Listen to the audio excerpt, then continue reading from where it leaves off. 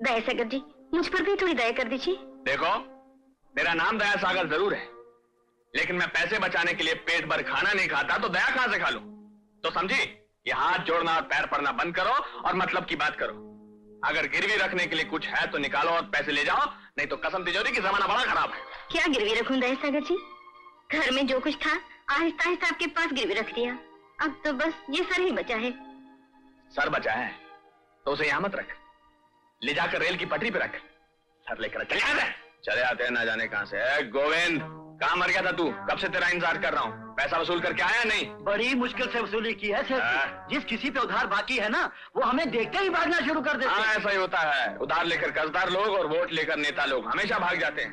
कसम तिजोरी की जमाना बड़ा खराब है लेकिन ए, तू यहाँ क्या कर रही है? चल भाग यहाँ से चल। चल माल निकाल। ये रहे तीन सौ रुपए। एक दो तीन। ओ बिला मंगल तेरा क्या चल जल्दी कर। ये लीजिए। तेरे पैसे? क्या हुआ? तेरे मुँह पे सड़े हुए जूते तरह लानत क्यों बरस रही है? क्या हुआ? मालिक मैं मैं क्या? मैं मैं मैं, मैं हाँ? मैं, मैं पैसे वसूल करके ला नहीं सका। क्या? पैसे वसूल करके नहीं ला सका? शर्म नहीं आती? ज़िंदगी चलाया? खुदकुशी करके नहीं आ सकता था? कौन है वो आराम का दिन जिसे पैसे देने से इनकार कर दिया? वो चाय की दुकान वाला नारायण। मैंने उसे पैसे मांगे तो उसने साफ़ इनकार कर दिया और कहा जाके बोल तेरे मालिक से जो करना हो कर ले मैं पैसे नहीं दूँगा। अच्छा? कुत्ते के मुँह में शेर की ज़ुबान? उसमें इतनी हिम्मत कैसे आ गई? उसने अपने पास किराए के कुछ गुंडे रख लिए हैं मालिक। और उन गुंडों के डर से तुम तुम दबाकर भाग कर चले आए। बताओ ये है मेरी फौज। ये जमाना आ गया है।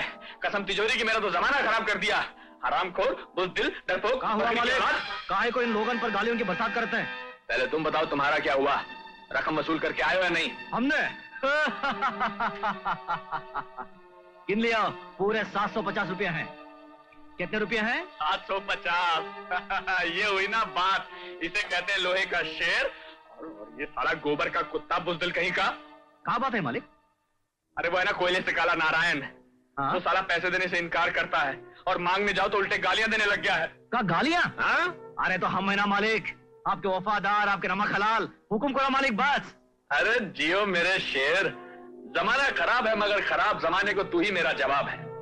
जा रंगा जा। तू ही उससे बात कर क्या? अरे हम बात नहीं करते थे मालिक हम तो गलत बात करने वाले के दांत तोड़कर हाथ में रख देते हैं। कहा रख देते हैं? हाथ मार रख देते हैं। अरे तुम अब तक मुँह लटका यहाँ क्या कर रहे हो? चलो भागो। अरे दो चाय लाना। अच्छा। अरे दो चाय वहाँ साहब के लिए। लहंगा कैसा आना हुआ? बैठो ठंडा पियोगे? हम यहाँ ठंडा पीने ना ही आए हैं बल्कि तोहर के ठंडा करने आए हैं। कहा करने आए हैं? ठंडा? हम्म। मगर मैं कुछ समझा नहीं रंगा अभी समझाते हैं सीधे से पैसे निकाल ना ही तो मार मार के तोहर थोपड़े को ऐसे उबड़ खबड़ बनाई देंगे जैसे फटी हुई चटाई से बुना हुआ झोंपड़ा। लेकिन इस समय मेरे पास पैसे नहीं है रंगा। जब रंगा तोहर को नंगा करेगा तो पैसे खुद ब खुद निकल आएँगे। कैसे निकल आएँगे? खुद ब खुद निकल आएगा। ए, क्या रहे क्यों इन्हें ज़बरदस्ती परेशान कर रहा है? कहा रे? तो हर कलेजा में खुजली होते है क्या? ये तो हर जोरों का कसम लगता है क्या? क्या बोला? अब ये बताता हूँ।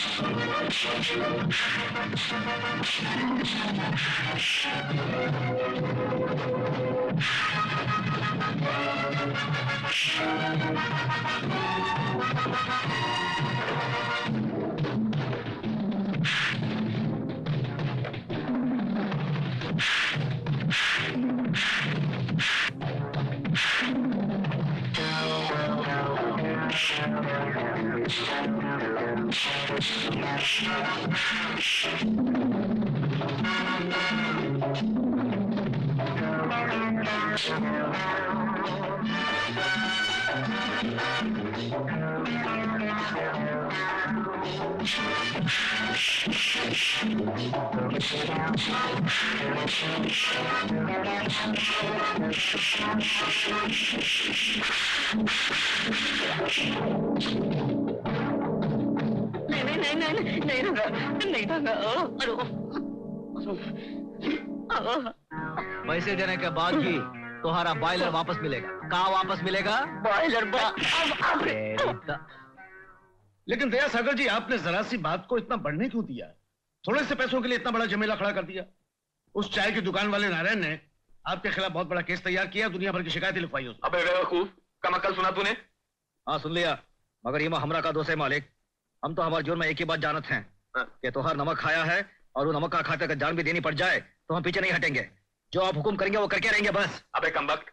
मैं कहूँगा कुआँ में कूद जा। तो क्या कूद जाएगा? वकील साहब आपके पिछवाड़े कुआ है ना? हम अबे कूद करावत है। अबे अबे रुक जा हमको मेरे छोड़ो मालिक। जा, हम अबे कूद मेरे करावत है। कसम तिजोरी की वकील साहब मेरा तो जमाना खराब कर दिया है इसने। दया सागर जी आपने भी अजीब सा आदमी पाल रखा अब है। देख लीजिए नमूना आपके सामने बिल्कुल हनुमान है हनुमान है। इसे कहो कि आम खाने को जी कर रहा है तो कम्बक पूरा का पूरा पेड़ उखाड़ लाएगा कसम तिजोरी की मेरा तो नमस्ते वकील साहब। अरे रमाकांत तुम आ गए? हाँ वकील साहब। लेकिन बात यह है कि राजगिरी खानदान के जायदाद का असली वारिस का अब तक? हम्म हम्म। सागर जी आप तशरीफ़ रखिए मैं भी हाजिर हुआ। रमाकांत आओ।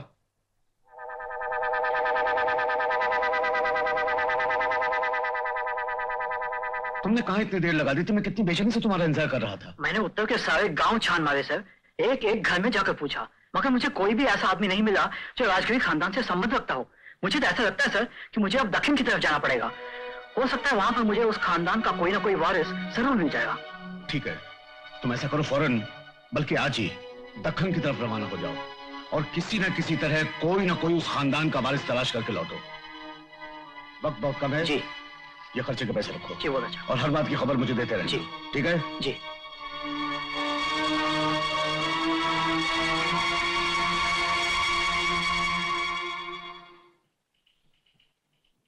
वकील साहब अभी आप अंदर कुछ उत्तर दक्षिण जमींदारी खानदान और जायदाद के बारे में बातें कर रहे थे। आपका उस बात से कोई ताल्लुक नहीं है श्रीमान। हैं?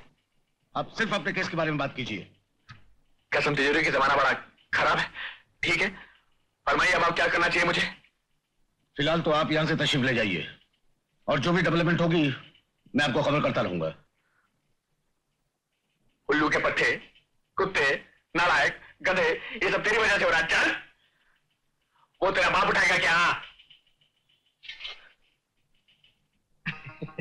साहब साहब आप कुछ भूल रहे हैं। नहीं नहीं नहीं ये नहीं।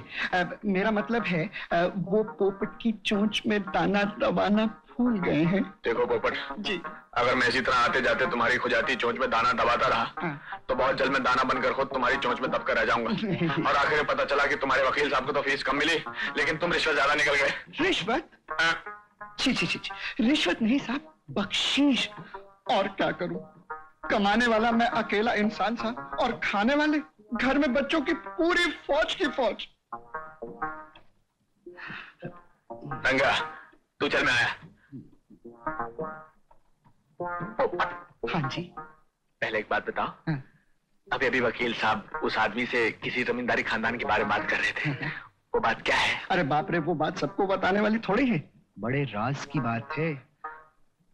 वो राज क्या है? अरे साहब मैं दस बीस रुपए में वो राज की बात थोड़ी बता सकता हूँ। हाँ मैं इतना बेईमान नहीं हूँ। हाँ जब तक आप पोपट की चोंच में बड़ा दाना नहीं दबाएँगे तब तक पोपट वो राज नहीं टपकाएगा। अच्छा ठीक है ये ले सौ रुपया। अब बताओ राज की बात क्या है? अब बताता हूँ।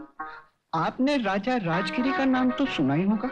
हाँ सुना है ये भी सुना है कि वो मर चुका है। हाँ वही उनकी अपनी कोई औलाद नहीं थी।